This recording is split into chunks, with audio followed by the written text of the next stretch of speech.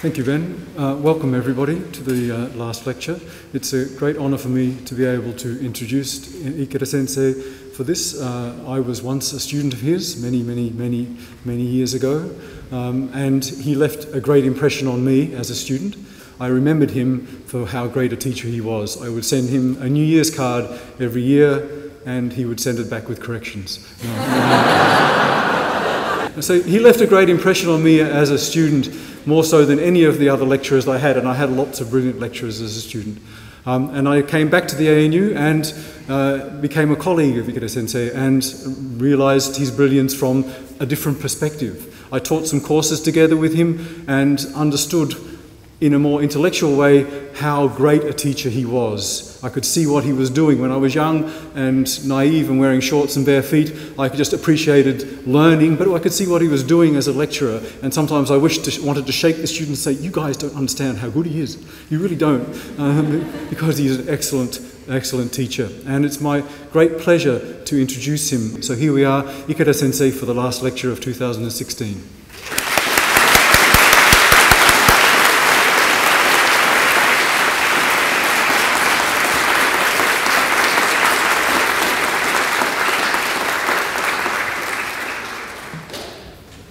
Excellency, uh, Ambassador of Japan, Mr. Sumio Kusaka, and distinguished guests, uh, Pro Vice Chancellor uh, Richard Baker, and ladies and gentlemen. It is my great pleasure to be here. I was humbled, scared, with lots of trepidation and concern and anxiety and apprehension and insomnia and everything else.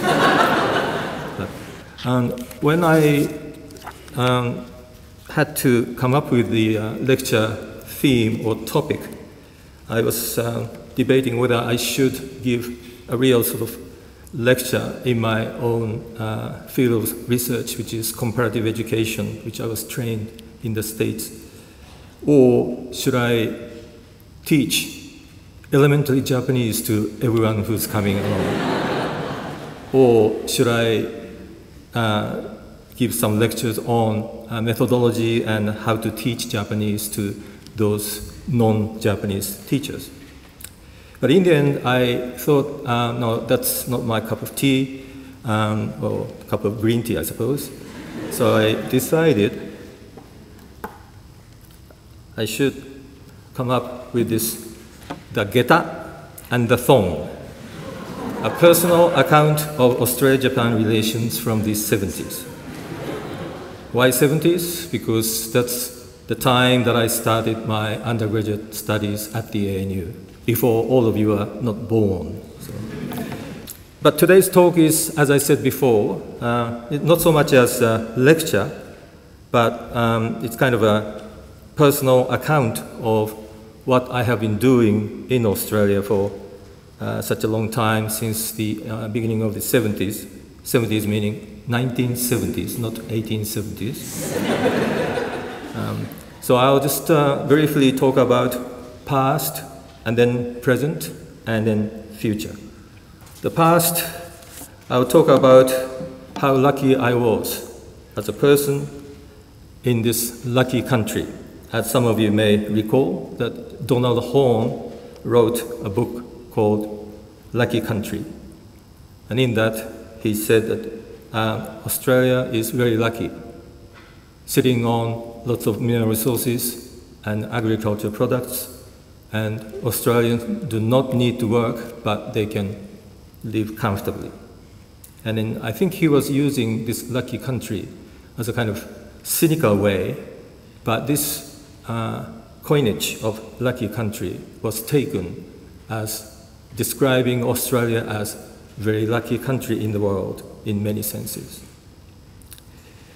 And I came to this university in, back in 1970 um, as one of the luckiest, perhaps, uh, students from Japan because um, I was told afterwards, after I came here, and then perhaps into second or third months of my study at the ANU, that I was the first degree-seeking Japanese national student here at the ANU. And I was a bit surprised because there were quite a few postgraduate students at that time, but none who is doing a degree program at the ANU.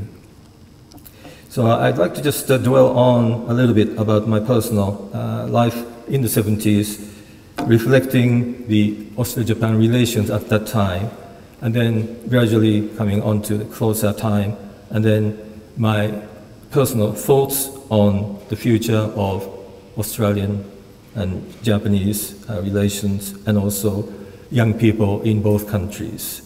And this is purely my personal account and do not quote in your uh, term paper or semester paper and so on.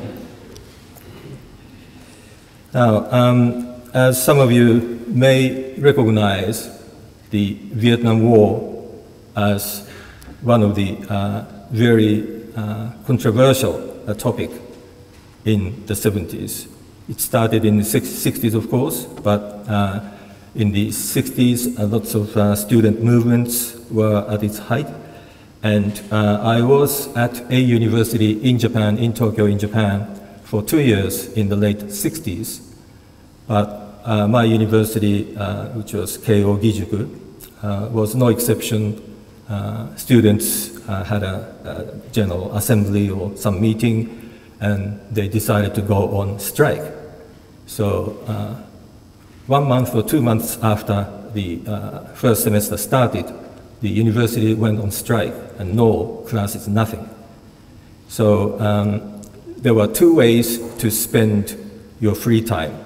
One is to get involved with those student movements and then lots of, they're called teach-ins, so private, sort of uh, privately uh, organized uh, seminar type of things. And also, uh, there's another way that they call it in Japanese non-poli, uh, coming from English word non-political, meaning not committing anything to any uh, political movement and so on. So they are the ones who did uh, lots of uh, volunteering and uh, other sort of precursor of NPOs and NGOs these days, but in those days there were none of those. And I chose the latter, and I joined the uh, Japanese uh, Junior Red Cross, and then uh, I, I, also chose, uh, cho chose um, uh, Japan Youth Hostels Association to organize lots of uh, Uh, interesting uh, projects with uh, hostelers from all over the world and so on. But after two years, I was sick of doing something other than what I was supposed to do uh, studying at the university. And I was lucky, it so happened that my father, who was working for a private company in Japan, was posted to Sydney, Australia. So he asked me if I was interested in coming to Australia. And naturally I said yes, if you pay for me. And in 1969, um, I decided to move from Japan to Australia, but of course, you know, I had to uh, overcome the first hurdle, English. I wasn't an English student or anything uh, close to English because I must confess that my high school uh, academic record, English grade was three out of five. So five is the highest and one is the lowest, and I was always three, three, three, three, three, three, and so on. So my English wasn't that hot. So I had to take uh, the English test at the uh, Australian Embassy in Tokyo. You can't believe it now because there's so much, so many other uh, testing uh, facilities available now. IELTS, uh, TOEIC, uh, TOEFL, and something else. But I was astonished that I had to take an English test at the embassy of uh, Australian embassy in Tokyo. And there I was again very lucky to meet a young, aspiring Australian diplomat called Trevor Wilson, who uh, sent his uh, absence uh, regards to everyone. But uh, I owe a lot to him because he was the one who, with my uh, lack of English and everything else, who thought, hmm, here's an interesting Japanese guy who is interested in Australia. He may do something about Australia in the future. So this is the talk that I had with Trevor after I came to Australia. And I asked him, why did I pass the English exam? Because my speaking and listening comprehension were zilch, you know, almost nil. And he said, well, your speaking and listening comprehension were uh, non-existent, to put it mildly. But your composition and grammar and reading comprehension were quite solid. And uh, there were other students who took the same examination with me who had been to either in the States or in England somewhere, so uh, studying abroad when they were high school. And they took the test, and then they were speaking and listening comprehension were excellent. And I couldn't keep up with them. They were talking in English at lunchtime and so on. I was sort of distanced you know, from them. But uh, Trevor told me that all of them were sent to uh, English school before they were admitted to universities. So I said again that that's ridiculous because their English seemed to be very good. But he said, no, their speaking and listening was okay, but they were not able to write uh, meaningful sentences. Their comprehension was awful, and their grammar was non-existent. So um, I was admitted to both ANU and Sydney. But if I went to uh, Sydney University, I would have commuted from my parents' place, which wouldn't be good for my English. So I decided to come to the ANU without knowing what kind of city uh, Canberra was and how big or how small or whatever. There's no uh, information about Canberra at that time, but I decided to come to the ANU, which, of course, I think I made a right decision.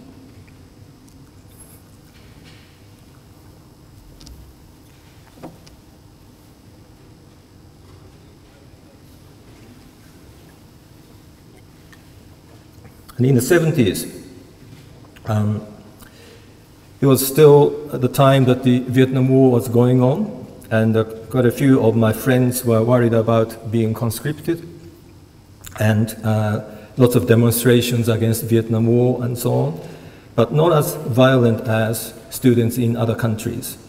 So uh, we were able to uh, carry on our day-to-day -day studies and seminars and whatnot. And I was also lucky that through my supervisor at Keio University, Professor Tadao Kuribayashi, who did his PhD in Australian uh, space law in law faculty. Uh, he did his PhD with such distinguished, dis distinguished uh, scholars as uh, Emeritus Professor Arthur Stockwin of ANU and uh, Oxford, and Emeritus uh, Professor Peter Drysdale at the ANU, and Dr. John Caiger, who is here with us. Um, and I, um, I call him onshi in Japanese, meaning someone whom I indebted to the bone. So uh, without his uh, assistance, I wouldn't have been standing here this year. And between 1970 to 1975, I had a tremendous uh, university life. And here's one shot that uh, Dr. Peter Hendricks supplied to me. This was the uh, uh, tutorial class on the lawn in the sort of uh, law faculty quadrangle. And you can, perhaps the people in the back can't see it clearly, but uh, one on the left is Dr. Peter Hendricks with long hair, and you can't tell much, but uh, he's wearing shorts. He was wearing shorts all year round. You know. Summer, spring, autumn, winter, doesn't matter, he was wearing shorts with no thongs, so bare feet and so on. And maybe you, ca you can't recognize me. Um, I'm uh, sitting here. This is me with uh, black hair and everything. and strangely enough, that um, I don't particularly remember those students in the last, say, three, five years. And if I see them, then I recognize faces and then uh, maybe uh, last name, but not first name and so on. But I remember all these students both first names and surnames. We can just tell them. So it's amazing. Okay. So um, under Gough Whitlam's uh, Labour government came in at the end of uh, 72. So from 1973, as you recall, free education started at the university level in Australia. So I was one of those uh, uh students who benefited from the free education in the 70s. And I was in one of the student residencies, uh, Garran Hall, and uh, I uh, enjoyed uh, immensely. Mainly because uh, when I was in Japan, as you may imagine, that everyone is doing more or less the same thing. Uh, small things like in Japan at school, they change their uniforms according to the calendar. It doesn't matter what the temperature is, it doesn't matter what the weather is, but from the first day of June, everyone has to wear a summer school uniform. And then when uh, winter comes, then even if it's too warm or uh, weather is good, but everyone has to wear winter school uniforms and so on. But when I came here, it's so free and so uh, diversified in attiring any kinds of uh, clothes. So some of them are wearing shorts and uh, t-shirts, but some are wearing long sleeves with jumper and then long trousers and so on. So it's up to each individual, and I found it very interesting. And also, uh, from coming from a kind of uh, single ethnic group society, the Australian society even in the 70s, was amazing. That uh, mixture of Caucasians and Asians and uh, African people and some South Americans and a few from uh, uh, Middle East and so on. And so, so many different uh, people, different backgrounds, different languages, different cultural backgrounds and so on, were got together and then studying in their own way but uh, we did a lot of things together, and that was amazing to me. And amongst these uh, friends, then I made uh, lifelong friends, uh, like Ross Westcott and uh, Edie Young, who are here with me, and I'm grateful that they came here to see me and listen to what I am saying here.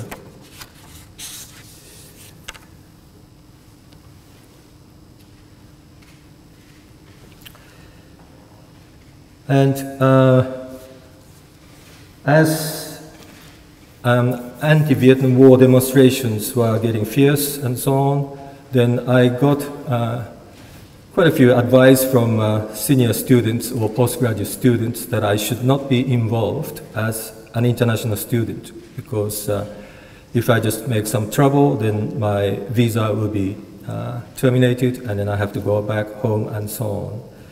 So there were quite a few who are not against these uh, uh, anti-Vietnam War demonstrations and so on, but the way they approach these uh, issues, there are so many different ways to appeal to politicians and other uh, policy makers and so on. And I learned quite a lot from a senior students and postgraduate students as well.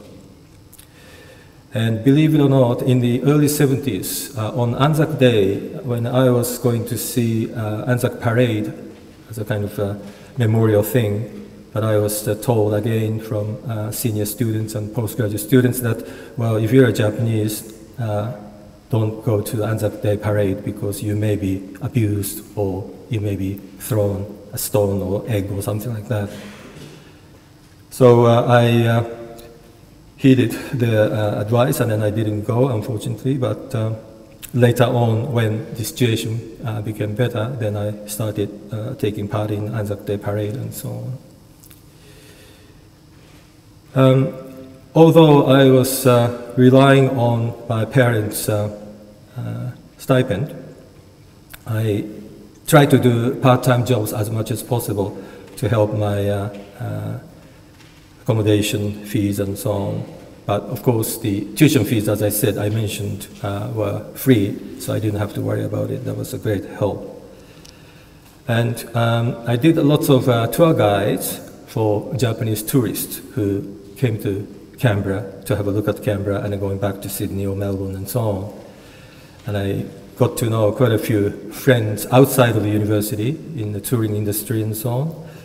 And by chance, I met a person, a gentleman called uh, Graham Freudenberg, who was uh, an advisor, political advisor to Gough Whitlam, the Labour government uh, prime minister. So through him, I was given a few opportunities to do an, interpreting for Gough Whitlam at Parliament House and some other places and so on. And I was amazed by Gough Whitlam's remarkable memory that the second time I met him, after possibly six months after my first job with him, he remembered my name and I was impressed. And I uh, enjoyed my uh, sport activities at the ANU. Um, believe it or not, I'm not that tall, but I was a basketball player uh, in Japan. So naturally, when I came out here, I joined the ANU basketball club, and I joined the intervarsity uh, teams and so on. Then, uh, luckily, in 1973, I was chosen as one of the combined universities team. So I was uh, uh, awarded a Blues Award, Sporting Award at the ANU in 1973. And um, I was chosen to a team called ACT team. There was no name. It was uh, before NBL, National Basketball League, came into being. So I joined the team and then enjoyed basketball. And I was uh, recommended to uh, Australian Universiade squad for Rome 1975, but because you have to be an Australian citizen and I didn't have a citizenship, so I had to turn it down. But those are, are good memories uh, of the 70s. Then, when I finished uh, my honors year in 1975, and I was debating whether to go back to Japan or seek uh, postgraduate studies or something else, then um, Professor Antonio Alfonso, of the head of the Department of Japanese at that time, approached me and asked me if I could be a tutor in Japanese in 76.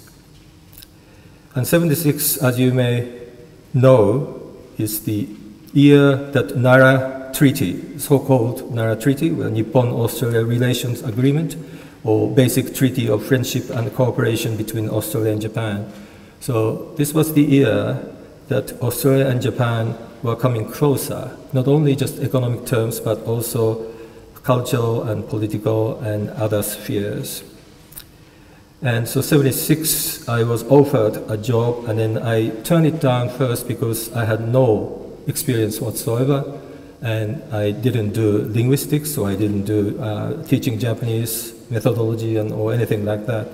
So I wasn't confident and I wasn't uh, interested perhaps. But Professor Alfonso insisted that we need someone like you. And I said, uh, like myself, what?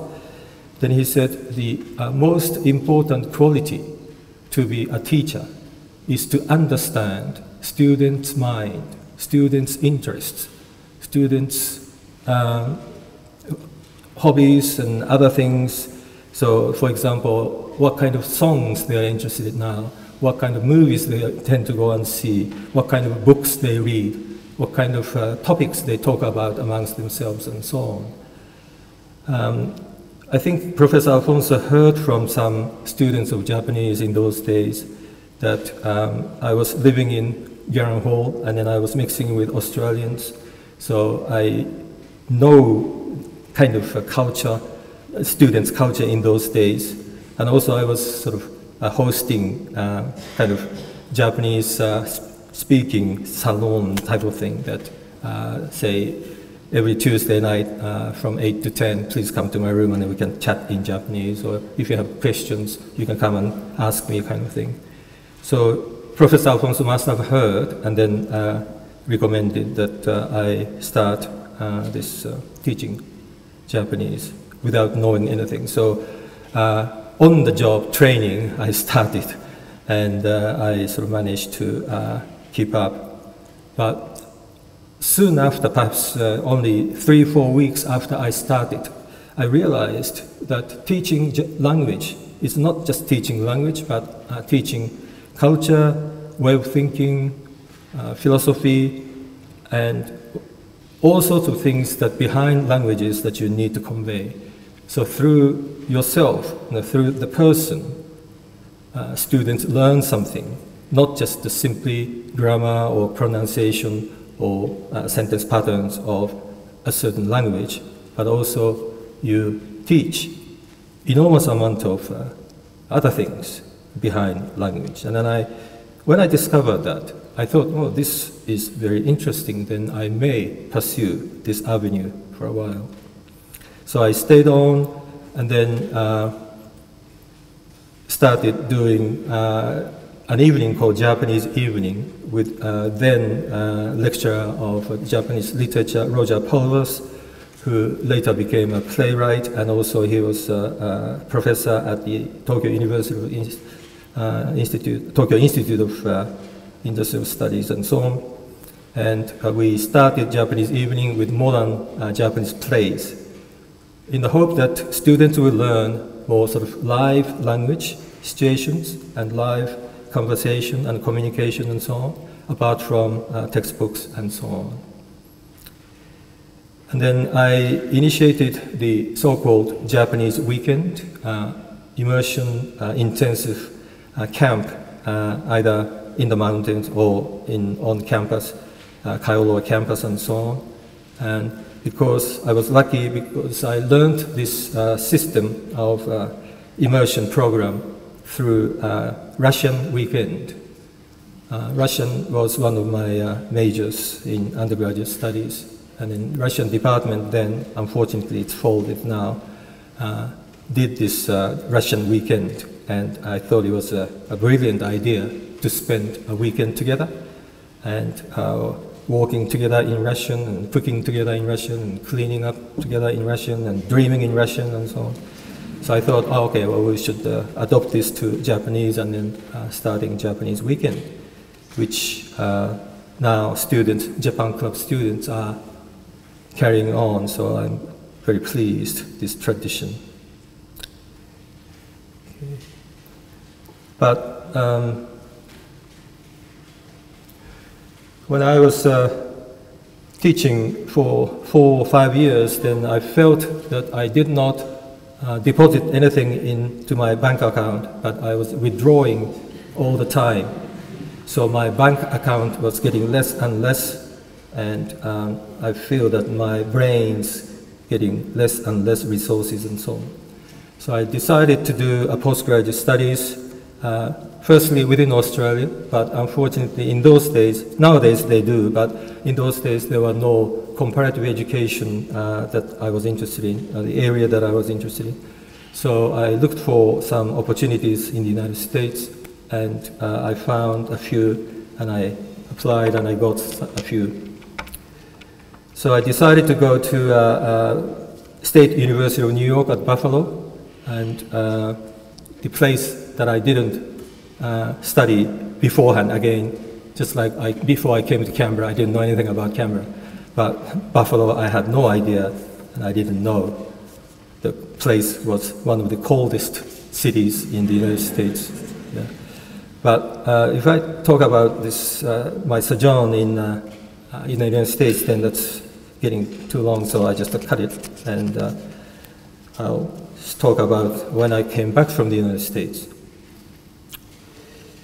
So in 1988, I finally came back to the ANU uh, with a position vacant, so I applied and I got it. And uh, when I came back, uh, Professor Drew Gerstle, uh, who was an expert on uh, puppet theater, Ningyo Joruri, started kabuki at the ANU uh, in the 80s. And to this date, when I pressed him, asked him a few times that when did you actually start kabuki at the ANU, he always answered, no, I don't remember. So I asked him, didn't you make any programs or flyers or something that shows, you know, uh, you started kabuki from when? And he said, I just uh, checked them away and no records whatsoever. So, uh, although the Kabuki Club is boasting that it's 39th and 40th anniversary next year, it's actually dubious. so, uh, it is certain that it started in the 80s, but I don't know exactly when. But um, in 1992, uh, when the Ministry of Education and Science uh, decided to let national universities uh, start exchanging uh, students from uh, overseas or international students. So before then, national universities were not allowed to do an exchange because of uh, tuition fee and all these things. But 92, it opened up. So uh, and myself thought, oh, this is a good opportunity. So we started to uh, set up an exchange program with 12 universities to start with. Uh, we didn't uh, uh, sort of test two or three universities, but instead, uh, between us, Drew Gerstle and myself, we had some close friends here and there in Japan, so we decided to start this program with 12 universities from the beginning, and which was a tremendous success. And uh, I would say about 20 to 25 students every year in the 90s, they went to Japan, and less number of students came to ANU from Japan, but there was a tremendous uh, program which is kind of dwindling and uh, withering at the moment. So um, it's a shame, but I hope that it will be revived soon. And I was lucky again in, that same year, 1992. I was given the uh, inaugural Vice Chancellor's Award uh, in uh, Excellence in Language Teaching. So I was given that simply because that was the first year, inaugural year, and no one hardly knew about it and hardly anyone was nominated, and then luckily my students knew about it, so I was nominated and I got it. So ever since I haven't been given. no, no, that's not true. Ever since I, I have been nominated, nominated almost every year, but I turn it down because once I got it, then that's it. I don't have to prove anything. So I let, I let everyone else to, uh, those deserve colleagues, uh, deserving co colleagues should get that uh, award. And I started uh, language exchange amongst uh, Ryugakusei, international students from Japan, with our own students. And then I started a career forum and so on. And also when the ANU started secondary college, meaning years 11 and 12 students uh, come to the ANU and then uh, do uh, courses with the ANU. Uh, teachers are from uh, colleges, but uh, students can use all the facilities at the ANU, and they are given a sort of uh, uh pre-selection uh, admission and so on. And it's still continuing since it started in 2007. It's still continuing, and it's a very strong program. But it's sort of facing a financial problem at the moment, and I hope it will continue for many years to come. And also I started the second-hand Japanese book sale back in 2011, uh, 2012, sorry, uh, after the uh, 2011 uh, earthquake and tsunami.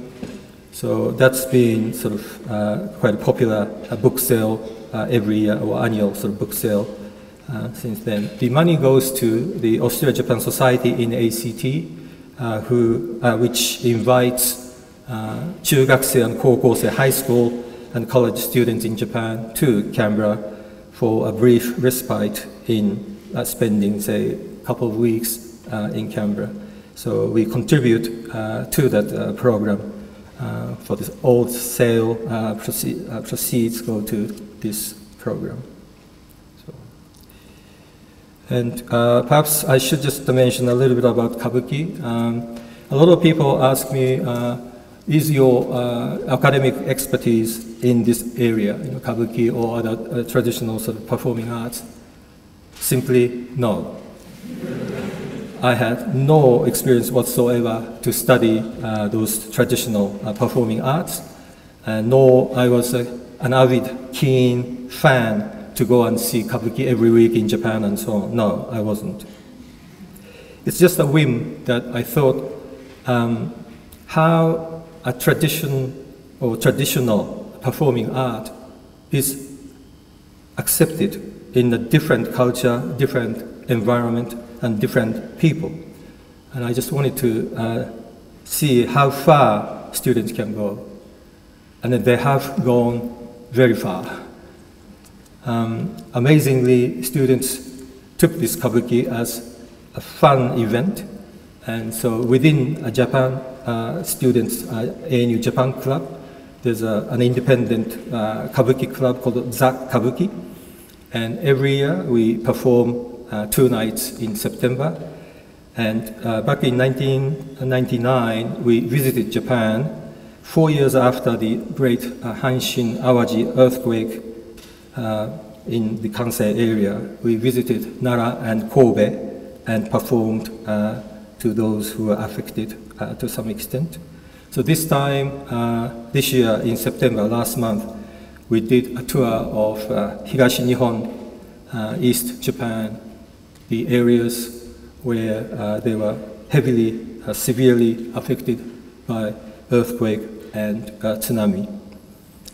Uh, because when we started talking about going to Japan this year, at the beginning of this year, in February, the beginning of first semester, when we, we were discussing, we were asking amongst ourselves, where should we go? Then unanimously, everyone said we'd like to go to Tohoku, to talk to people there, and then to show that we have not forgotten those people, and then we'd like to know their prospect and their hope and ideas and so on nowadays. So we decided to go to Tohoku, and then we toured around two weeks in September last month, and performed in Akita, Kesennuma, and Ishinomaki. And Akita was not affected by earthquake and tsunami heavily, but uh, there was there's a university in Akita with whom uh, we have an exchange agreement. So we went there. So I just want to share this uh, fun part very quickly with this uh, slides. Oops, sorry. Oh. Uh, this was the Kabuki Club uh, camera and Japan tour. Uh, this is the uh, Canberra airport before we depart. And that's uh, sort of a scene from uh, Akita performance. And amazingly, uh, we did not bring our own palanquin, this kago, because it's too heavy to carry.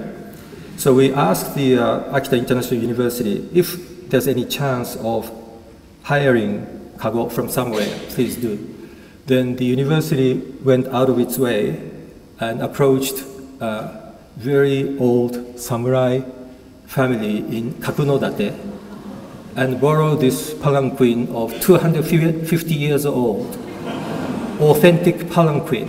And we were amazed and we were awed and then we didn't want to touch, but so we did not put anyone inside just in case it's broken, then we might have to cover $100 million or something. uh, so we borrowed this and other things, and there was a tremendous success. So, and then this horse uh, costume, also we borrowed it from a professional, uh, professional um, uh, performing group called Warabiza in Akita. So those of you who saw our performance in Canberra in September, totally different horse from this one. so if this is a thoroughbred, then our horse in Canberra was a, a agricultural sort of a dilapidated old horse. This is just a, a shot after the uh, rehearsal. And this is uh, uh, backstage. Oh, sorry, no, uh, this was the uh, sort of after, after performance party at the uh, Akita International University. And then Akita Station heading towards uh, Kesennuma. Then this is the house which was affected by the uh, earthquake and tsunami. And we were amazed that the owner of this house used to be a part-time tutor in Japanese at the Australian National University in the 90s. And I knew she went back to Tohoku area, but I didn't remember she was from Kesennuma, the city that we visited. And she, there she was, living three minutes walk from the uh, Japanese accommodation hotel in uh, Ryokan. So I was astounded to see her there, and she was kindly showed her uh, dilapidated, uh, affected house. And there was uh, shot after the performance too. And then during the uh, tour, we were uh, entertained by the uh, Japanese drum, and then also we practiced a little bit drum as well. Then we were on the oyster farm, oyster farming tour. so these people, the young people are there trying to revive their famous oyster farms and so on. So we had a look at the uh, first-hand uh, recovery stage. And that's just a shot. Uh, this student was very popular wherever he went. So he, he was always with the young ladies. and this is the hotel, uh, Japanese-style ryokan we stayed. But the, apparently the tsunami uh, came over the, uh, where our balcony is, and over the top, and then only the third floor was uh, remained. So they uh, re uh, renovated and then reconstructed the first and second floors, but they were totally uh, destroyed. And then that's a big sign in Ishinomaki, Gambaro Ishinomaki. Right? And then we had a chance to uh, mingle with uh, Ishinomaki Senshu Daigaku uh, university students to exchange our views and talking about the uh, uh, disaster and the disaster prevention and so on. And then this was the after uh, performance shot in Ishinomaki. And the party and then uh, some of us went to see uh, real authentic kabuki in Kabukiza in Tokyo. So that's the sort of ticket, uh, you know, the very cheap ticket up on the top floor. So you don't have to spend thousands of dollars, but very cheap. And that's the, uh, in front of the Kabuki Theater with myself and the producer of this year, Erin Makala. And then, of course, there's a party afterwards. And then those who were uh, students at the ANU. Uh, so the one on the right is uh, Pat Komalavon, who is studying at the University of Tokyo now, and a few other senpai who did kabuki last year, year before, and so on came along, and we had a wonderful time. Uh, this is a bit uh, out of order, but the uh, Ishinomaki Information Center, and that's again this uh, popular character here. And this was uh, a dressing room in Ishinomaki as well. And then uh, this was uh, after performance, uh, those of you who came and see this year's Kabuki, we, for the first time we provided uh, subtitles for all the lines and everything. So that was the afterwards. So those are just shots from this Kabuki. Um, many people ask me why I do uh, direct kabuki every year. A few reasons, but the most, one, most uh, important one is that uh, I'd like to, as I said, create um, tradition, uh, but not a real tradition in Japan, but tradition here, uh, kind of Australianized kabuki tradition here. And with this uh, fake history of 40 odd years of kabuki, Um, it's gradually coming now. Uh, namely, it's not just a, a, kabuki style performance, but we put in some uh, pop music with uh, modern dance and some jokes and um, some uh, funny actions and so on, which are not allowed to do in kabuki perhaps.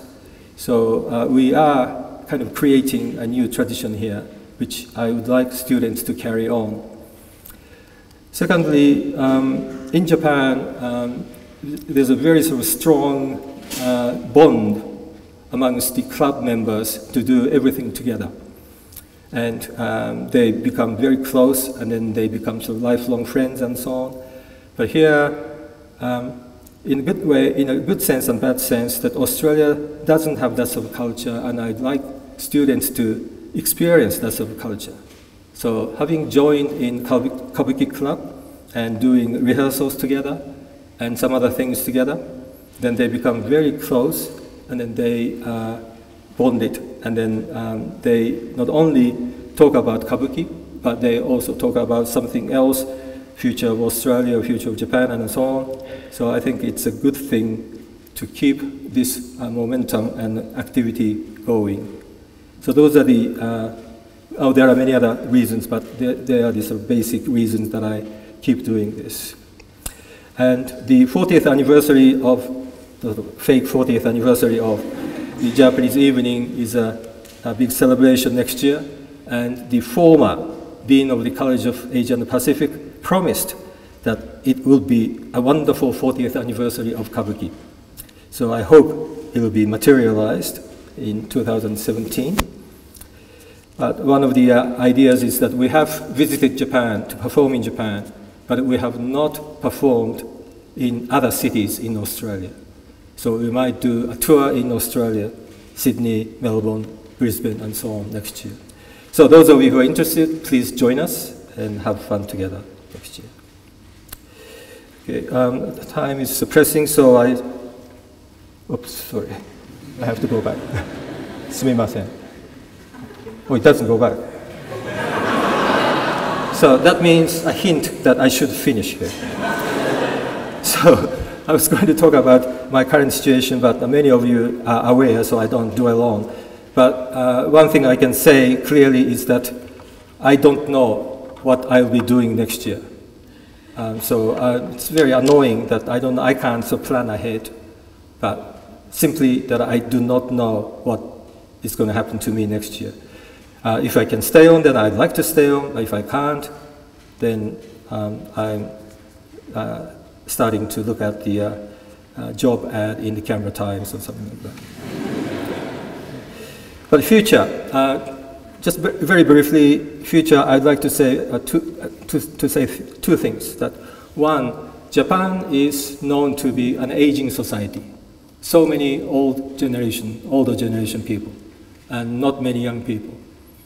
Australia is not the opposite, but not bad, as bad as uh, Japan yet. And Japan is a kind of mono-ethnic group society, and Australia is a multi-ethnic, multilingual, and multicultural society. So we are in a sort of position of complementing each other.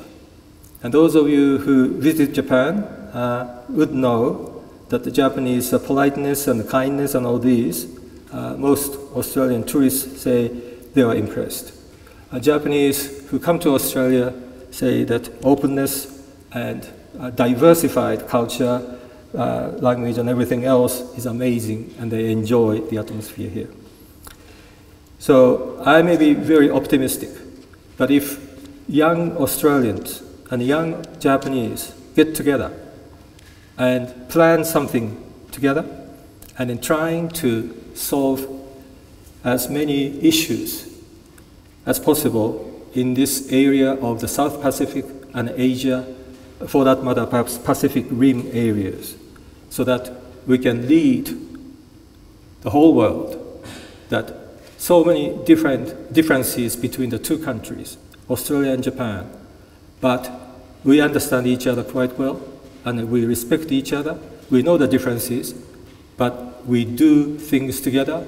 Then it's not one plus one is two, but maybe one plus one is 1.5 or maybe three so um, I would like, especially you know, students, young people, that uh, Australians and Japanese cooperate and then uh, try to do things together. And if we do together, then some countries uh, which are kind of suspicious or dubious about our intentions, if, say, for example, Japan does something by itself and then try to help, they some countries might feel that, oh, Japan's trying to do something behind or something. But if Australia is doing that with Japan, then they might think, oh, okay, Australia is supporting and then doing things, then that's fine. Likewise, if Australia does something by itself, then by herself, then uh, some country might uh, politely reject. But if Japan's uh, in that, and then together, Australia and Japan trying to help those countries, they might listen. So I do hope young people in those two countries will unite together and try to project some remarkable things together in the next uh, five, ten years or beyond. And I, I'm sure that you will be able to do that.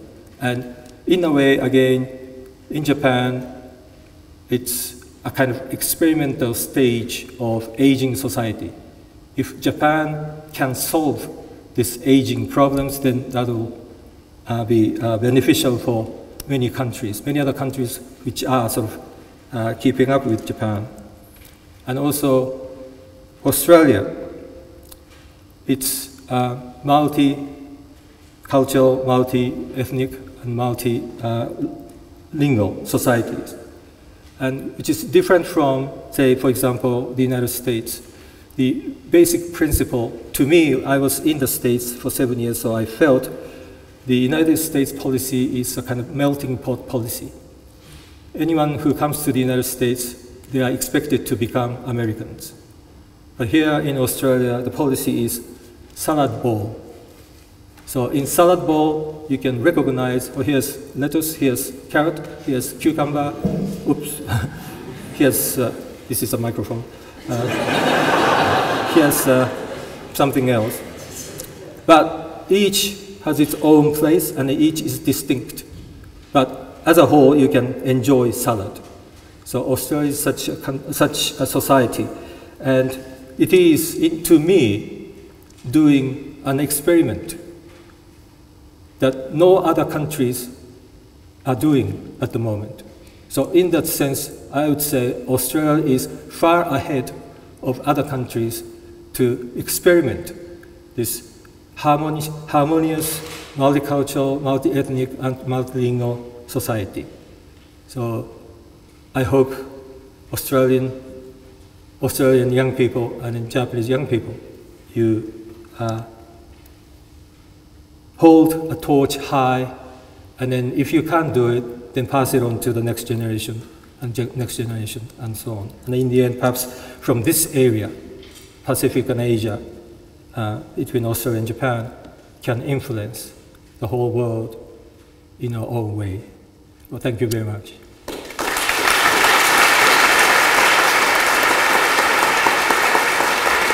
Three cheers for Ikeda Sensei. Hooray! Hip hip! Hooray!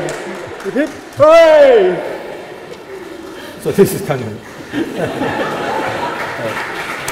ありがとうございます。